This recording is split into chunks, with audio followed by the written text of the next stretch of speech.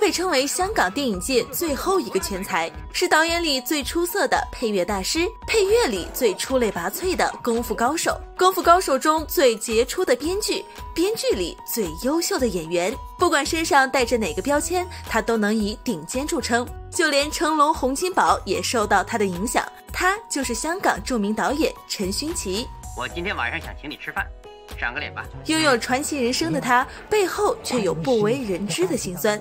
最爱的女儿突然自杀身亡，如今又身患癌症晚期，却依旧坚持站在自己导演的岗位上，让人既敬佩又心疼。今天就来聊一聊陈勋奇背后的故事。陈勋奇不同于影视圈中拼命打拼的人，一入行就可谓是顺风顺水。从小就有导演梦的他，因为没有专业的学校去学习如何拍戏，所以为了离电影更近一步，他只能先考进邵氏音乐录音部，跟着著名的作曲家王福林学习电影配乐。那时的他才十五岁，不懂音乐，你为什么来面试呢？我说我喜欢电影。好了，就这样 OK 了。之后，陈勋奇便以童工的身份边学边做，五音不全又完全没有音乐功底的他，没少挨师傅的训斥。可也正是严师才能出高徒。就像是为专门音乐而生的陈勋奇，凭借着对电影赤诚的热爱和过人的音乐天赋，很快便被香港电影配乐行业圈所熟知。而这个工作一干就是十二年，在这十二年间，他几乎包揽了香港百分之七十电影配乐。经典的音乐旋律让许多导演制作电影时，只要一想到配乐部分，第一个想到的总是陈勋奇。他成为配乐界中比明星还明星的人物，也因此结识了许多导演，成龙就是其中一个。当时的成龙想打入好莱坞，走的是像李小龙那般的冷酷硬汉形象，虽有一身好功夫，却不受大众的关注。而陈勋奇却看出了其中的门道，他认为现在的美国深受李小龙的影响，如果走硬汉形象，势必会被李小龙的风头遮挡，不如开创自己的风格。也正是因为陈勋奇的这句话，改变了成龙一生的命运，开启了属于成龙的喜剧武打先河。两人更是成为知心好友。事业正如日中天的时候，陈勋奇却突然退出了配乐行业。他还是想完成自己最初的梦想，成为一名导演。我觉得我的使命更大，我要做电影导演，我要做电影制片人，我要一直就是拍戏。当时饰演光头神探的大导演麦家红极一时，就想跟着麦家学习电影制作，从副导演做起。可成龙知道后却极力反对，他认为陈勋奇应该先从演员做起，只有自己学会怎么演戏，将来做导演时才能够更好的指导其他的演员。就这样，在成龙的不断鼓励下，一九七八年，陈勋奇从幕后转向台前。从没有学过表演的他，演艺道路更是像开了挂一样。刚入行就直接被嘉禾公司签约，第一部戏就以男一号的身份与肥猫郑则仕搭档，出演动作片《八宝闯八关》。让所有人都没想到的是，刚做演员的陈勋奇直接就在镜头中打了起来。这并非只是单纯设计好的花拳绣腿，而是铁打的真。功夫，陈勋奇从小就喜欢武术，年纪轻轻便已经是跆拳道黑带。而演员这个行业，更是让他有了大展身手的机会，也奠定了陈勋奇之后的影视类型，收获了一众好评。陈勋奇这个名字迅速被人熟知，但他并没有放弃导演梦。在拍摄第一部电影期间，就像著名编剧黄炳耀了解怎样去编写剧本、剪辑视频等等。在参与的第二部电影《败家子》中，在洪金宝那里又学到了镜头的运用。到拍第三部电影的时候，就有老板支持陈勋奇成立自己的公司，陈勋奇也正式开始他的导演、演员、制片人、动作指导生涯。电影一部接着一部的展现在观众的眼前，黑帮片《龙之争霸》。武侠片《边城浪子》都是好评如潮，陈勋奇导演的名号也逐渐打响。期间，他几乎没有在染指电影配乐，但尔冬升执导的电影《新不了情》却让已经金盆洗手的配乐大师陈勋奇再一次出山。《新不了情》的配乐原本请的是经常为梅艳芳作曲的音乐大家鲍比达，但总是差了那么点感觉。达不到尔冬升的要求，这时尔冬升想起来了陈勋奇，就抱着试一试的态度邀请陈勋奇出山。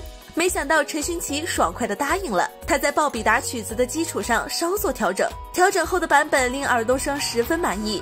而这首《新不了情》也成为了家喻户晓的经典之作。我知道你会再做一首更好的给我，一定会的。但如果你以为这就是陈勋奇的配乐巅峰，那就错了。下面这首曲子才是真正的经典中的经典。没错，王家卫的电影《东邪西毒》中这首《天地孤影任我行》就出自陈勋奇之手。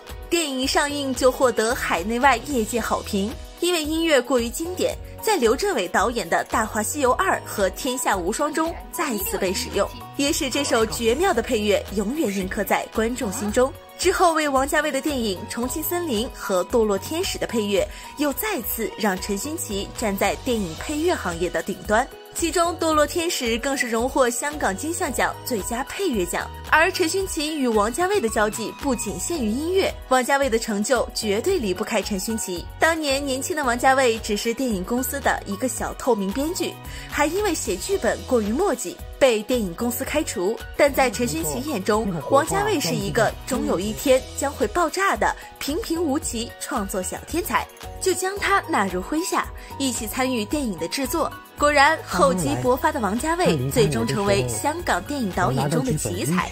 直到现在，王家卫也是尊称陈勋奇为大哥。可事业得意的陈勋奇却无意中忽视了已经深陷抑郁症的女儿。陈勋奇给女儿起名为陈开心，本就是想让她无忧无虑的过完一生。但踏入娱乐圈的陈开心，因为敢爱敢恨的性格，接连与杜德伟、黄又南、李思杰和马国明传绯闻，多家媒体都指责他是小三儿，还公开了他的私密照。娱乐圈的压力让陈开心患上了重度抑郁症。二零一四年，陈开心因为感情问题走向不归路。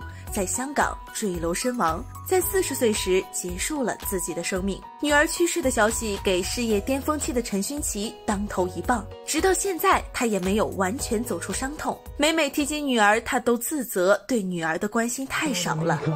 你才会发现，原来